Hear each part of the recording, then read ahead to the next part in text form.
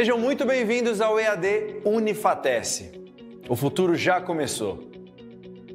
Essa frase nunca foi tão verdadeira.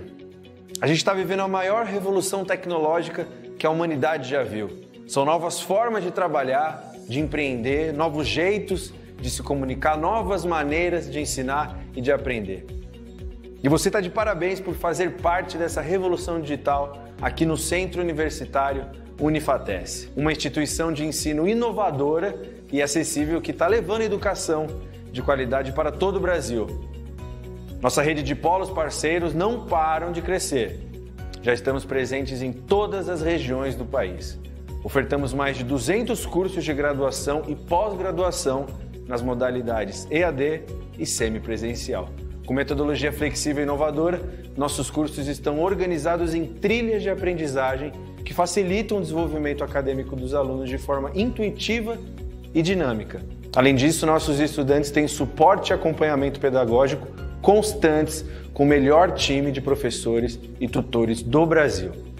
E para os cursos e disciplinas que necessitam de atividades práticas presenciais, a gente criou os megapolos que contam com uma infraestrutura inovadora, com laboratórios totalmente equipados e tutores especializados. Viu só? É por isso que a EAD Unifatese é nota máxima no MEC. Centro Universitário Unifatese, fazendo o seu futuro. Olá pessoal, boa noite.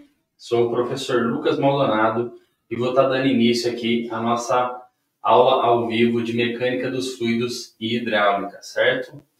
Ah, qualquer dúvida, pessoal, qualquer questão aí, manda aí no nos comentários. Estou vendo aqui que já tem um pessoal que mandou uns comentários aí. Fique à vontade e a gente vai falando aí sobre a nossa aula, certo? Eu trouxe aqui, para a gente poder iniciar, como é uma aula rápida de 15 minutos, né? Trouxe aqui então um exercício principal para a gente já poder discutir e quaisquer dúvidas aí vão, vão mandando para nós pelos comentários que eu vou auxiliando vocês e vou tirando essas dúvidas, certo? Pessoal, então inicialmente eu trouxe uh, um exercício aqui para a gente falar um pouquinho sobre diâmetros e perda de carga. Esse é um tema aí dentro da, da mecânica dos fluidos que é bem complexo, até porque a gente utiliza muito essa equação que se apresenta aí, a equação de Hazel-Williams, certo? Que é uma equação que a gente acaba tendo a, bastante dificuldade para fazer, porque ela é, ela, é bem, ela é bem comprida, certo? E a gente vê que ela tem vários elevados e tudo mais, e muitas vezes a gente acaba ah, não conseguindo, então, ah, fazer ela ah, da maneira correta. Porque se o cara tentar colocar ela inteira ali na, na calculadora de uma vez, vai acabar dando erro. Então, a minha dica principal para vocês, para poder realizar esse tipo de exercício é faça por partes cada uma das etapas quando a gente for utilizar uh, essa equação, certo? Então, nós vamos estar utilizando aí, eu quero mostrar para vocês nesse exercício aquela relação que a gente tem entre diâmetros e perda de carga. Então, a gente vai alterar o diâmetro dentro uh, desse sistema para a gente verificar o quanto que vai alterar a nossa perda de carga. Então, a gente vai precisar utilizar essa fórmula, certo? Então, a fórmula da perda de carga contínua. Nós vamos ter essa perda de carga em MCA, que é metros de coluna de água. Nós temos ali 10,65, que é a constante desta equação. Depois nós temos o comprimento retilíneo da tubulação, que fica lá no finalzinho, que é o L, certo? Então, esse é o comprimento que eu botei ao todo da minha tubulação. Eu tenho o meu Q ali em cima, que é a vazão dada em metros cúbicos por segundo. Então, aqui é um outro detalhe muito importante a utilizar essa, essa fórmula que vocês precisam estar sempre colocando dentro das unidades de medidas corretas, certo? Às vezes a gente tem a nossa vazão ah, em metros cúbicos por hora, ah, e aí acaba dando um pouco de diferença, né? Acaba não dando certo aí essa Depois nós temos ali embaixo o coeficiente de Hazen-Williams, o C que ele é tabelado. No caso, para tubulação de PVC, que é a mais utilizada, a mais comumente utilizada, é 140. E depois nós temos o diâmetro, certo? Então, o diâmetro, pessoal, também está em metros. Então, a gente precisa tomar muito cuidado porque muitas vezes a gente fala um diâmetro em milímetros, 50 milímetros, 25, 32 milímetros, e eu acabo não convertendo. Se eu colocar 32, 50 ali, vai dar erro. Então lembre-se, vamos sempre verificar se todos os, a, a, todas as unidades de medida já estão conforme necessário. Então, aqui para a gente ter um exemplo, certo? Então, o nosso HF, nossa perda de carga contínua, vamos utilizar o L de 200 metros, ou seja, o comprimento da minha tubulação de 200 metros para que a gente possa aí a ter um comprimento padrão. O meu diâmetro, nós vamos avaliar dois diâmetros. Vamos avaliar o diâmetro de 100 milímetros e o de 150 milímetros. E a nossa vazão, trouxe ela em metros cúbicos por hora, justamente para ensinar vocês a estarem fazendo aí essa, essa conversão. E vamos utilizar então o caso PVC, que eu tenho meu coeficiente de Haselin 140. Pessoal, então primeiro para a gente poder ah, estar ah, mudando aí o nosso diâmetro de milímetro, né, convertendo de milímetro para metro, basta dividir por mil. Então 100 milímetros dividido por mil dá 0,10 metros e 150 dividido por mil, 0,15 metros, certo? Então a gente consegue aí estar tá convertendo, uma conta bem simples, divide por mil, eu tenho em metros o meu diâmetro. E como é que eu faço para converter então de metros cúbicos por hora para metros cúbicos por segundo? Então se eu já tenho em metros cúbicos, eu só preciso dividir os segundos. Em uma hora, eu tenho 60 minutos. Em cada minuto desse, eu tenho 60 segundos. Então, 60 minutos vezes 60 segundos eu tenho 3.600 segundos em uma hora, certo? Então, até coloquei um valor redondo ali, 36 metros cúbicos dividido por 3.600. Professor, mas da onde você tirou esses 3.600? Porque em uma hora eu tenho 60 minutos, em 60 minutos eu tenho 70 segundos. 60 vezes 60, 3.600 segundos que eu tenho em cada hora. Então, se eu tenho aquele 36 metros cúbicos por hora, é a mesma coisa que eu ter 36 metros cúbicos em 3.600 segundos. Divido isso, obtenho então 0,01 metros cúbicos por segundo. Ah, professor, mas eu quero converter isso para litros por segundo. Basta multiplicar isso por mil, porque um metro cúbico tem mil litros, então eu multiplico certo, isso por mil e vou obter em litros por segundo. É mais uma conversão que a gente consegue fazer. Então, converti tudo a conseguir colocar isso dentro do, do, das unidades de medida que eu já precisava, certo? E agora vamos fazer a conta. Então, pessoal, etapa por etapa. Vim aqui, ó, coloquei o meu Q, a minha vazão, 0,01 elevado a 1,852, dividido por 140, que é o meu C, elevado a 1,852, vezes 0,10, que é o quê? Que é meu diâmetro elevado a 4,871, vezes 200, que é meu L, certo? Faça essa conta por partes. Elevo, então, 0,10, elevo 140, obtive aqui os valores abaixo. Pode ver que é um valor bem baixo, 0,0000135, certo? É 1,35 vezes 10 a menos 5. Então é um valor bem baixo mesmo, porque é 0,10 e 9.432,55, que é o 140, e o meu 0,01 elevado lá a 1,852, que eu obtive 0,0002, certo? Então, pode ver que eu já elevei os três valores e anotei aqui. Faça sempre o arredondamento da maneira correta e você consegue ter esses valores bem próximos. Aí agora a gente vai multiplicar a parte de baixo, esse 9.432, por esse valor bem pequeno eu obtenho 0,1274, certo? Depois eu divido 0,0002 por 0,1274 e obtenho 0,00156. Ou seja, toda aquela conta eu consegui chegar aqui num valor ah, final, é um valor baixo. Quando eu multiplico, eu acabo obtendo aí 3,33 metros de coluna de água, certo? Aqui é só multiplicar os três, de perda de carga. Joia? Agora nós vamos passar e fazer a conta para 150 milímetros.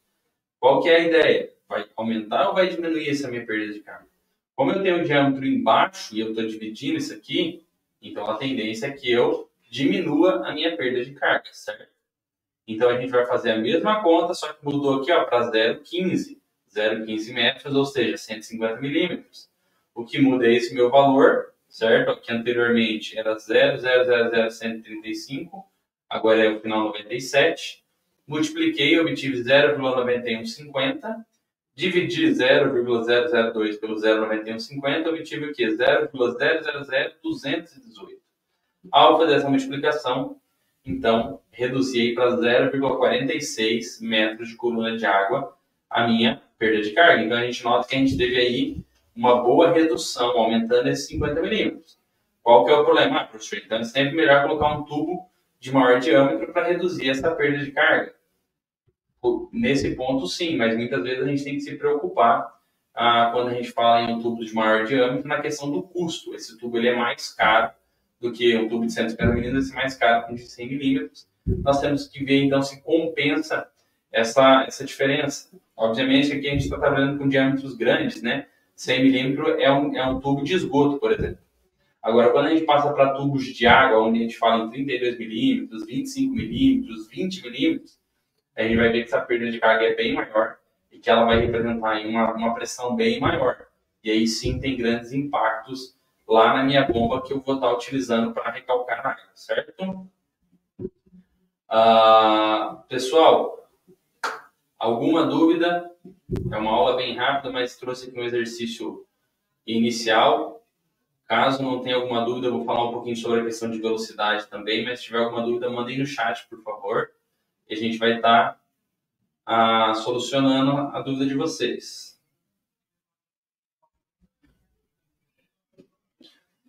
Certo, pessoal? Então, ó, falamos aí bastante da questão de ah, dessa questão dos diâmetros. E a gente sabe que quando a gente altera o diâmetro, a gente também altera a velocidade.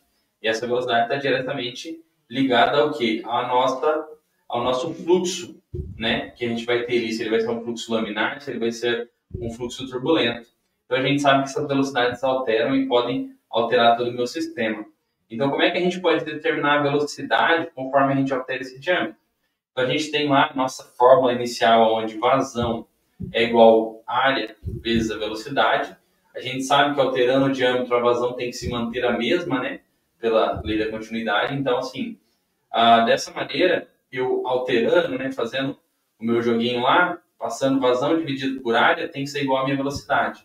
Então, minha velocidade, se eu dividir a minha, minha minha vazão pela área do tubo, eu vou conseguir saber a velocidade. Como é que eu sei a área? A área é o que? Raio ao quadrado vezes π, vezes 3,14. Então aqui eu obtive as duas áreas, né? a área de 0,00785 e 0,0177.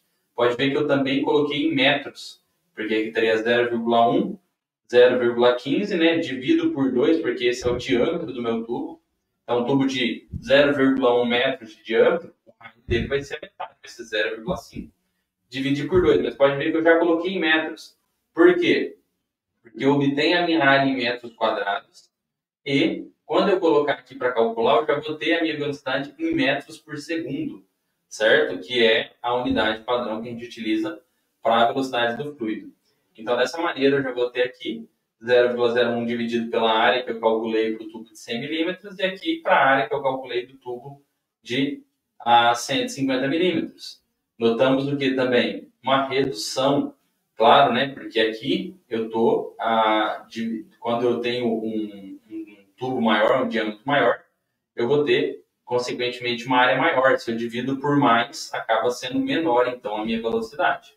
Certo? Então, é uma relação aí a, quanto maior o tubo, menor a velocidade. É inversamente proporcional. Correto? Então é importante a gente ter isso, a gente saber calcular essas velocidades também, porque muitas vezes eu penso ao contrário. Eu quero economizar, né? Estou pensando, vamos supor lá, construir um prédio. Eu quero construir um prédio e eu quero, e então vai muito tubo, né? Tem que, vamos supor, recalcar água lá para o topo do prédio é uma distância grande e tudo mais, e eu quero reduzir o custo, então tem que diminuir o diâmetro desse tubo para eu poder fazer isso. Mas aí calculei, via perda de carga, coloquei uma bomba maior para poder compensar tudo isso. Mas e aí, será que essa velocidade não vai ser muito alta? Porque aí nós vamos começar a ter um fluxo turbulento. Um fluxo turbulento maior acaba tendo que mais aquele tubo batendo ali, certo? Então a ancoragem desse tubo tem que ser feita de maneira diferente também, certo?